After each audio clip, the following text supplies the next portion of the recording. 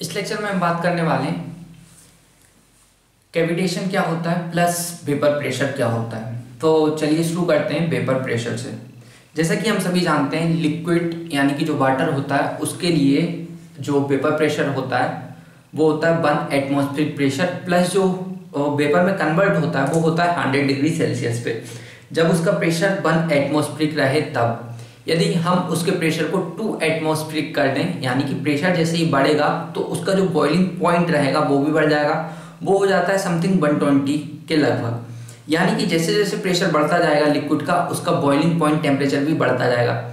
दूसरी तरफ़ यदि बात करें तो जैसे जैसे प्रेशर कम होता जाएगा, यानी कि उसका जो बॉइलिंग पॉइंट टेम्परेचर है, वो भी कम होने वाला है। प्रेशर बढ़ाने पर बॉइलिंग पॉइंट टेम्परेचर बढ़ेगा, यानी कि जो उसका वेपर में कन्वर्ट होने वाला है वो पेपर प्रेशर बढ़ाने से बढ़ेगा और प्रेशर कम करने से कम होगा।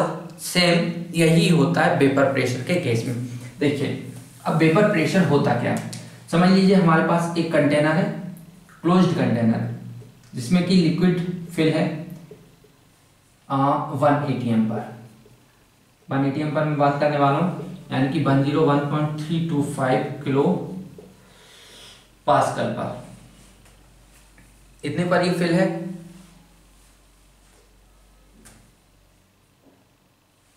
चलिए, ठीक है। अब मैं क्या करता हूँ? इसको गर्म करना स्टार्ट करता हूँ। इनिशियली ये 20 डिग्री सेल्सियस पर था। तो जैसे जैसे वाटर पार्टिकल 100 डिग्री सेल्सियस पर पहुँचेंगे, उसके बाद वो लेटेंट हीट गेन करेंगे प्लस उसके बाद वेपर में कन्वर्ट हो जाएँगे। वेपर में कन्वर्ट होने के बाद, समझ लीजिए कुछ पार्टिकल वेपर में कन्वर्ट हो चुके हैं। अब ये वेपर पार्टिकल इस सरफेस पर, यानी कि लिक्विड की सरफेस पर जो प्रेशर अप्लाई करने वाले हैं, उसको बोलते हैं vapour pressure vapour pressure vapour pressure आपको समझ में आ रहा होगा, उम्मीद करता हूँ। जैसे जैसे हम लिक्विड को बॉईल करते जाएँगे, क्योंकि ऊपर तो ये पार्टिकल नहीं जा सकते हैं क्योंकि कंटेनर थोड़ा सा खुला रहेगा, इसको पैक कर देते हैं, पूरी तरह सील्ड कर देते हैं। सील्ड कर दिया। जब उनको सील्ड कर देंगे तो क्या होगा? जो वेपर पार्टिकल बनेंगे वेपर के पार्टिकल बनेंगे, यानी कि लिक्विड सेचुरेटेड लिक्विड में कन्वर्ट होने के बाद सेचुरेटेड वेपर में जैसे ही कन्वर्ट होगा तो वो वेपर में कन्वर्ट हो चुका होगा। तो उस टाइम पे जो वेपर पार्टिकल रहेंगे, वो इस लिक्विड की सरफेस पर कुछ प्रेशर अप्लाई कर रहे होंगे, वो रहता है वेपर प्रेशर अब दूसरी मैंने बात की थी, जैसा कि अभी मैंने बोला था, कि जैसे हम प्रेशर बढ़ाते जाते हैं वेपर प्रेशर भी बढ़ता जाता है, यानी कि वन एटमोस्फिरिक प्रेशर पे 100 डिग्री सेल्सियस पे बॉईल होता है वाटर टू एट्टी एम पे वन ट्वेंटी पे बॉईल होता है, यानी कि वेपर पार्टिकल में कन्वर्ट होते हैं। ठीक इसी तरह यदि प्रेशर को कम करें तो जो उसका वेपर प्रेशर रहेगा, यानी कि वेपर में कन्वर्ट होने के लिए जो टेम्परेचर रहेगा, वो भी कम हो जाएगा।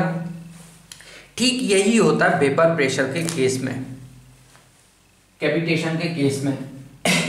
देखिए जो 20 डिग्री सेल्सियस पर, समझ लीजिए 20 डिग्री सेल्सियस पर जो वेपर प्रेशर होता है वाटर के लिए, वो होता है 2.5 किलो पास्कल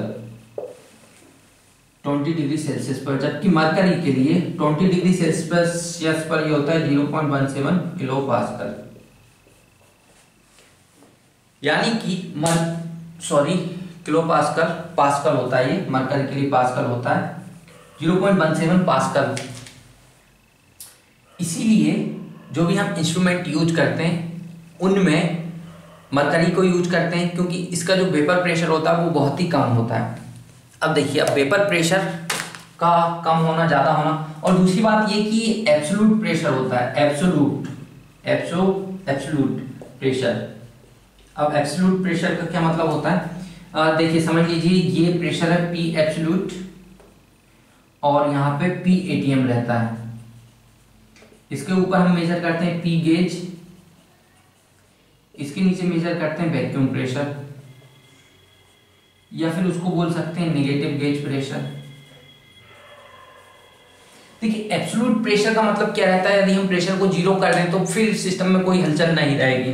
जबकि एटमोस्फिरिक प्रेशर एब्सोलूट प्रेशर से हमेशा ज़्यादा होता है। यानी कि एटमोस्फिरिक प्रेशर यदि नेगेटिव होता है तो उसको हम वैक्यूम प्रेशर कहते हैं। पॉजिटिव होता है। यानी कि किसी भी चीज़ को यदि हम एटमोस्फिक प्रेशर को बेस ले लें, यानी इसको ज़ीरो मान लें, इसको डेटा मान लें तो इसके ऊपर जो प्रेशर हम मेजर करने वाले हैं, वो होगा गेज प्रेशर यदि इसके नीचे मेजर करें, यानी कि नेगेटिव होने वाला है, उसको नेगेटिव बोल सकते हैं वैक्यूम बोल सकते हैं। जबकि एब्सोल्यूट प्रेशर कभी भी नेगेटिव नहीं होता तो ये प्रेशर होता है, वो एब्सोल्यूट प्रेशर होता है। देखिए, जैसा कि मैंने बोला 20 डिग्री सेल्सियस पर वाटर के लिए जो वेपर प्रेशर होता है, वो होता है 2.5 किलो पास्कल अब कैविटेशन क्या होता है? आपको समझ में आ गया होगा वेपर प्रेशर। अब बात करते हैं दूसरे टर्म, कैविटेशन की। कैविटेशन होता क्या है? समझ लीजिए, किसी पाइप में लिक्विड फ्लो हो रहा है, यानी कि वाटर फ्लो हो रहा है। यदि उस उस समझ लीजिए। हमारे पास एक कन्वर्जिंग डाइवर्जिंग नोजल है। देखिए, यहाँ पर प्रेशर कम होगा वेलोसिटी बढ़ती जाएगी। ठीक है, यदि यहाँ पे P मिनिमम P मिनिमम आ गया 2.5 किलो पास्कल। यहाँ पर P मिनिमम आ गया 2.5 किलो पास्कल हमने कुछ इस तरह का ये कन्वर्जिंग डाइवर्जिंग नोजल को बना दिया कि ये कन्वर्ज होते होते यहाँ पर इसका प्रेशर आ गया 2.5 किलो पास्कल जैसे ही 2.5 किलो पास्कल पे आ जाएगा तो 20 डिग्री सेल्सियस पे वाटर की वेपर बन जाएगी। अब होता क्या है? यहाँ पे लो प्रेशर जोन जनरेट हो गया। अभी इधर आएगा तो प्रेशर बढ़ जाएगा। प्रेशर बढ़ जाएगा। और जैसे ही प्रेशर बढ़ जाएगा, यानी कि यहाँ पे जो वेपर में कन्वर्ट हुए वो उन पर प्रेशर ज़्यादा अप्लाई करेगा और वो कॉलेप्स हो जाएँगे, यानी कि फूट जाएँगे। जैसे ही फूटेंगे और ये जब फूटते हैं कॉलेप्स होते हैं तो उस केस में क्या होता है? ये बहुत ही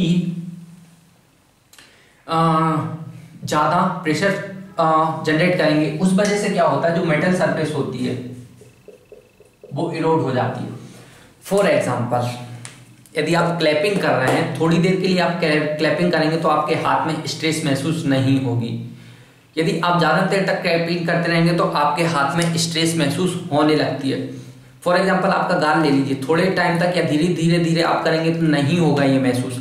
लेकिन ये लॉन्गर टाइम के लिए हो जाए और यहाँ पर प्रेशर जनरेट होता है, वो यदि कैविटेशन प्रेशर पर आ गया तो ऐसा तो है नहीं, थोड़े बहुत टाइम के लिए चलने वाला है। ये तो एक बार शुरू हो गया तो उसके बाद बंद होने वाला ही है। फॉर एग्ज़ाम्पल धीरे धीरे आप मारते रहिए। यदि लॉन्गर टाइम के लिए आप मारेंगे तो आपके दर्द होने लगेगा स्ट्रेस महसूस होने लगेगी। सेम हो जाता है यहाँ पे। तो जब ये फूटेंगे तो सरफेस को एरोड करेंगे, यानी कि कैविटी क्रिएट करेंगे वहाँ पे।